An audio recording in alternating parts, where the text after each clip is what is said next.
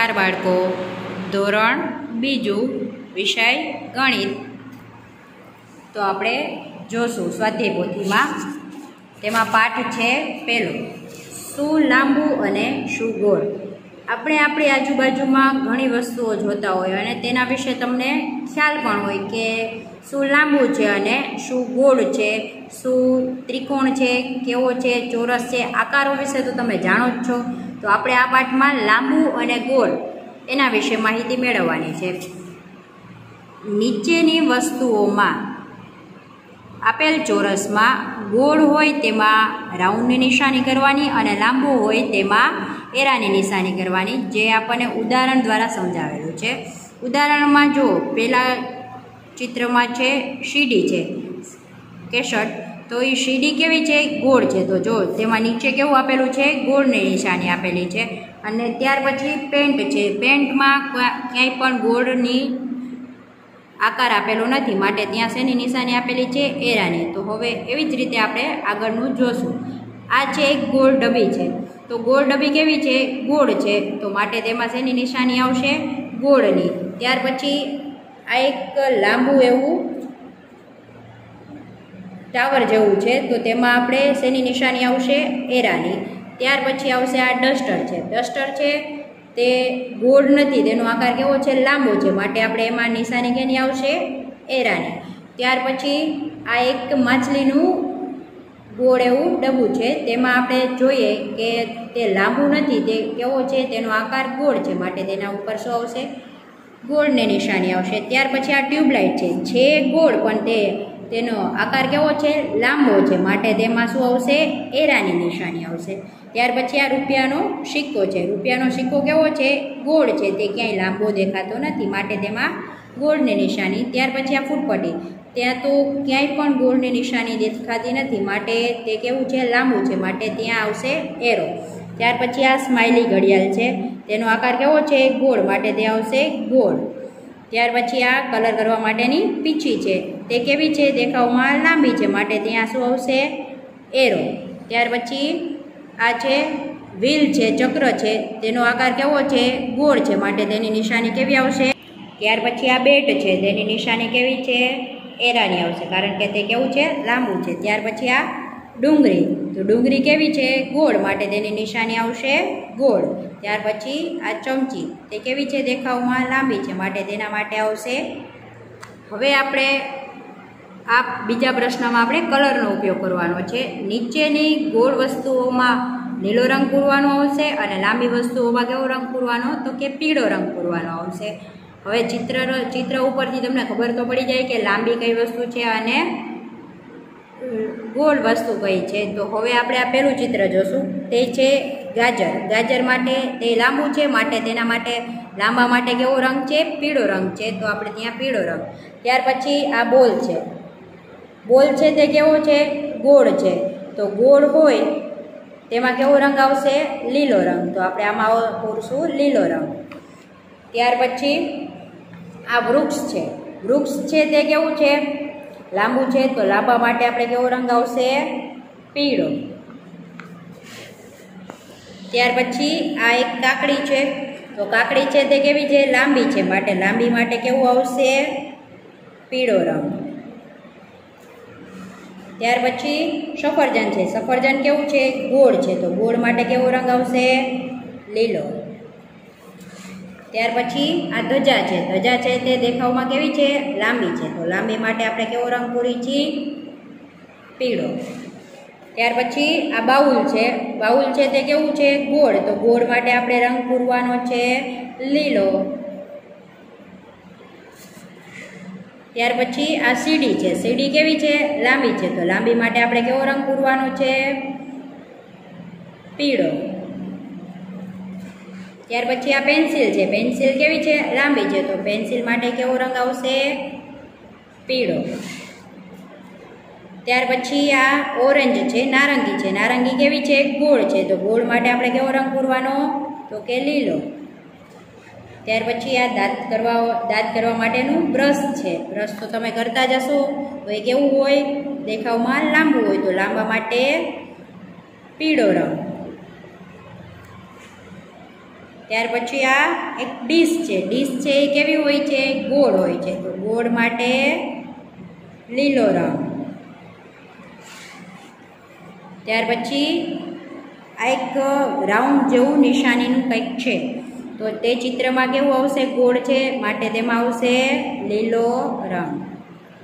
ત્યાર પછી પછી આ પેન છે. પેન તો તમે વાપરતા જશો તો પેનની નિશાની કેવી હોય? લાંબી હોય તે લાંબુ હોય માટે લાંબા માટે કેવું આવશે? પીળો રંગ. ત્યાર પછી આ દાડમ છે. દાડમ તમે ખાતા જશો ઘરે તો દાડમ કેવું છે? ગોળ છે. તો ગોળ માટે આપણે કેવો રંગ કરવાનો છે?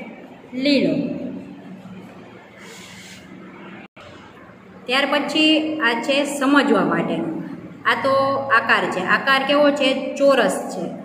ચોરસ આકાર હોય તેમાં ચોરસ આકાર છે તેને આપણે નીચે રાખી, તો તે ગબડી શકે છે. આપણે નીચે મૂકી, તો તે દોડવા માંડે છે, ત્યાંથી જગ્યાએથી હલવા માંડે છે. તો નથી હલતો, તો તેના માટે શું કરેલું છે? ચોકડી પછી ત્યાર પછી સરકે તો આપણે ચોરસને મૂકીએ. ચોરસ કોઈ પણ વસ્તુ હોય, તેને આપણે મૂકીએ અને એને એક જગ્યાએથી બીજી જગ્યાએ આપણે હાથેથી સરકાવી શકીએ. તો કે હા, સરકાવી શકીએ. માટે ત્યાં શું કર્યું છે? રાઈટ પછી થપ્પી થઈ શકે કે નહીં? ચોરસ છે, ચોરસ હોય, એક ચોરસની ઉપર બીજું ચોરસ રાખવું હોય તો આપણે એને રાખી શકીએ અને તેની થપ્પી બનાવી શકીએ. આપણે ઘરે બનાવતા જ હોય, ચોરસની ઉપર ચોરસ, ચોરસની ઉપર ચોરસ એવા ખોખા રાખીને થપ્પી બનાવી શકીએ તો માટે તેમાં શું કરેલું છે? રાઈટ ત્યાર પછી આ છે લંબચોરસ. લંબચોરસ વસ્તુઓ કઈ કઈ હોઈ શકે? તમને ખબર છે? લંબચોરસ સાબુ હોઈ શકે, લંબચોરસ ખોખા હોઈ શકે, ઘણું બધું હોઈ શકે. તો લંબચોરસમાં પણ કેવું હોય છે, આપણે તે લંબચોરસ કોઈ પણ વસ્તુ હોય તેને નીચે રાખીએ, તો તે ગબડી શકે છે? ગબડી શકે? ના ગબડી શકે. માટે ત્યાં શું કરેલું છે? ચોકડી કરેલી છે. આપણે એક જગ્યાએથી બીજી જગ્યાએ એને લંબચોરસને સરકાવી શકીએ? તો કે હા, સરકાવી શકીએ. માટે ત્યાં શું કરેલું છે? રાઈટ કરેલું છે. અને લંબચોરસ ખોખા કે કોઈ પણ વસ્તુ હોય, તેને એકની ઉપર એક, એકની ઉપર એક એવી રીતે થપ્પી બનાવી શકીએ? તો કે હા, બનાવી શકીએ. માટે ત્યાં શું કરેલું છે? રાઈટ કરેલું છે. પછી આ એક ગોળ વસ્તુ છે. ગોળ વસ્તુ ઘણી બધી હોઈ શકે છે. જેમ કે આપણે જોઈએ તો ગોળ તમારા બધાનો મનપસંદ દડો. દડો હોય, દડો છે તેને આપણે નીચે રાખીએ તો તે એને જગ્યાએ રહેશે કે ત્યાંથી થોડીક સરકી શકશે, ગબડી શકશે. તો ગોળ વસ્તુ હોય એ હંમેશા જગ્યાએ જગ્યાએ ના રહે, તે ગબડી જાય. તો ત્યાં શું આવશે? રાઈટ. પછી તેને સરકાવી શકીએ. આપણે મૂકી તે ભેગું એ ગબડવા માંડે, આપણે એને સરકાવવાની જરૂર પડતી નથી. માટે ત્યાં શું કરેલું છે? ચોકડી કરેલી છે. અને તેની થપ્પી થઈ શકે એક ગોળ વસ્તુ હોય, એની ઉપર બીજી ગોળ વસ્તુ રાખવી હોય તો રહી શકે. જેમ કે ઉદાહરણ તરીકે આપણે બોલ લઈએ, તો બોલ છે, બોલની ઉપર બોલ, બોલની ઉપર બોલ, એમ રાખી શકીએ, એની થપ્પી બનાવી શકીએ. તો કે ના, માટે ત્યાં શું કરેલું છે? ચોકડી કરેલી છે. ત્યાર પછી આ આપેલું છે શંકુ આકારનું ત્રિકોણ જેવું. શંકુ આકાર છે. તો શંકુ આકાર છે, તેને આપણે રાખીએ, તો તે એક જગ્યાએથી ત્યાં રાખીએ, તો તે ત્યાંથી ગબડી શકે, તો કે હા, ગબડી શકે. કારણ કે જો તેનો આકાર ગોળ ઉપર પણ આવી જાય છે. માટે તે શું થઈ શકે છે? ગબડી શકે છે. તો ત્યાં શું આવશે? ત્યાં રાઈટ કરેલું છે. ત્યાર પછી સરકી શકે. તો આપણે એને આવી રીતે ઊભું રાખીએ, તો આપણે એને સરકાવી પણ શકાય. માટે ત્યાં શું કરેલું છે? રાઈટ અને એની થપ્પી થઈ શકશે. એક શંકુ ઉપર, આ શંકુ ઉપર આપણે બીજું આવું શંકુ રાખવું હોય, તો તેની થપ્પી થઈ શકે, ના થઈ શકે. માટે ત્યાં શું કરેલું છે? ચોકડી. ત્યાર પછી આ છે નળાકાર આકાર. નળાકાર આકાર છે, તેમાં પણ ગોળ આપેલું છે. તેને આને આડું રાખી દઈએ, તો એ શું થશે? એક જગ્યાએથી બીજી જગ્યાએ આમ રાખવા, રાખતાની સાથે તે શું થશે? ગબડી જશે. માટે ત્યાં શું કરેલું છે? રાઈટ ત્યાર પછી તે સરકી શકે, તો હા, તે નળાકાર આકાર હોય તો તેને આમ ઊભું રાખીએ તો તે શું થઈ શકે? સરકી પણ શકે. માટે ત્યાં શું કરેલું છે? રાઈટ અને એની એકની ઉપર એક થપ્પી બનાવી. આવું જ આકાર નળાકાર છે, એની ઉપર બીજું આવું નળાકાર આકાર રાખવું હોય સરખી રીતે, તો રહી શકે. માટે તેની થપ્પી પણ થઈ શકે. માટે ત્યાં શું છે? રાઈટ ત્યાર પછી આ છે ત્રિકોણ. ત્રિકોણ છે, ત્રિકોણમાં આપણે એને ગબડાવવું હોય એક જગ્યાએ રાખી દઈએ તો ત્યાંથી ત્યાંથી તેની જગ્યાએથી તે સરકી શકશે ગબડી શકશે તો કે ના, તે રડી નહીં જાય. માટે ત્યાં શું છે? ચોકડી કરેલી છે. પછી તે સરકવાનું. તો તેને એક જગ્યાએથી આપણે બીજી જગ્યાએ હટાડવું હોય તો શંકુ આકારને આપણે, આ ત્રિકોણ આકારને આપણે હલાવી શકીએ. માટે ત્યાં શું છે? રાઈટ. અને તેની થપ્પી થઈ શકે એક ત્રિકોણની ઉપર આ ત્રિકોણ છે, એની ઉપર આવો નવો ત્રિકોણ બીજું રાખવું હોય તો રહી શકે.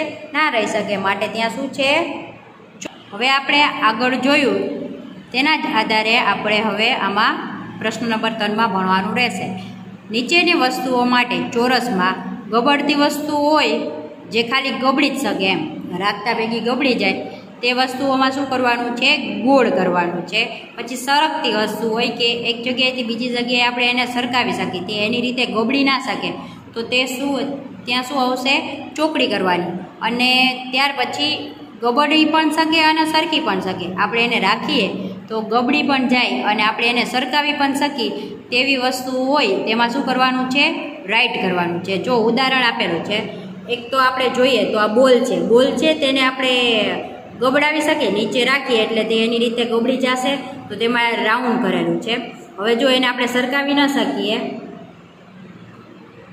ગબડાવી સરકાવી ન શકીએ. માટે જો તેમાં ચોકડી આપેલી નથી અને તે ગબડતું પણ નથી, સરકતું પણ નથી, માટે ત્યાં શું છે? રાઈટ પણ નથી.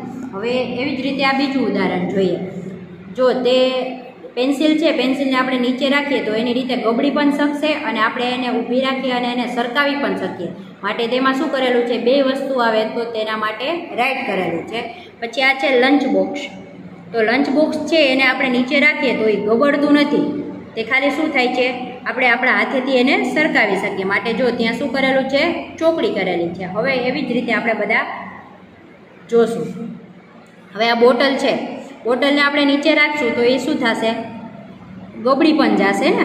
કારણ કે એની રીતે એની રીતે તે રડવા લાગશે. એટલે એ શું થશે? ગબડી પણ જશે અને આપણે એને ઊભી હોય તો આપણે એને સરકાવી પણ શકીએ. માટે ત્યાં શું આવશે? રાઈટ. બરાબર? પછી ત્યાર પછી આ ટમેટું છે.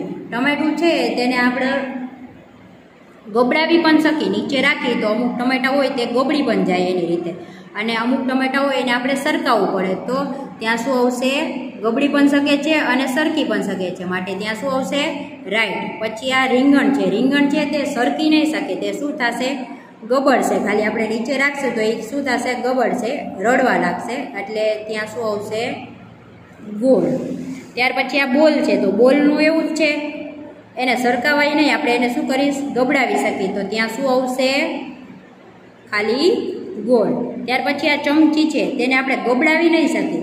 એને નીચે રાખી તો એની રીતે ગબડશે નહીં, આપણે એને સરકાવી પડશે એક જગ્યાએથી બીજી જગ્યાએ. તો ત્યાં શું આવશે? ચોકડી ત્યાર પછી આ ડસ્ટર પણ એવું જ છે, એને આપણે ગબડાવી ન શકીએ. એને શું કરીએ? આપણે એક જગ્યાએથી બીજી જગ્યાએ આપણી હાથેથી સરકાવી શકીએ. માટે ત્યાં શું આવશે?